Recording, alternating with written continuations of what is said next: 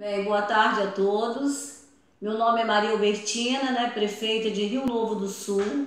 Quero agradecer toda a população rio-novense, agradecer toda a rede de TV, a rádios que ligaram para mim, assim, todo mundo preocupado com o fato que aconteceu comigo.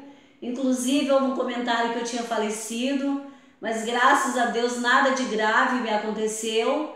Realmente eu em visita ao interior, né, devido às fortes chuvas, junto com a Defesa Civil, fazendo visita, encontramos barreira na estrada na ES 485.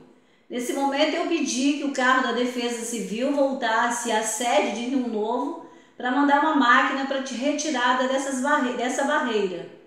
Nessa espera que ficamos lá, eu e o secretário de Agricultura, é, veio um rapaz de moto e falou: vamos fazer um caminho para que a gente passasse pelo menos as motos. E eu estava calçada de bota e de roupa da Defesa Civil e começamos a retirada da pedra. Nesse momento, quando nós estávamos já terminando de tirar a pedra, veio uma avalanche inesperada com uma madeira grossa e me, me atirou dentro da lama. Eu fiquei totalmente soterrada. É, como eu sou muito protegido por Deus, eu com toda a força que eu tive, eu comecei a me esforçar até sair né, na face da lama e me limpei o rosto e os dois rapazes que estavam lá comigo conseguiram sair também e me socorreram.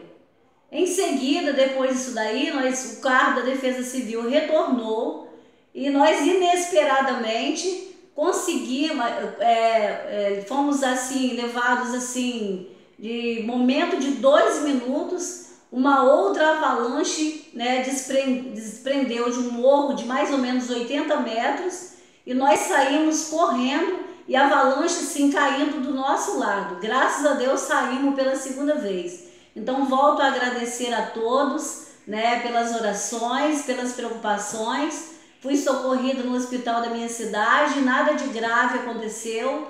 Hoje, né, estou com o corpo um pouco dolorido, mas voltei já a trabalhar. Obrigado por todos.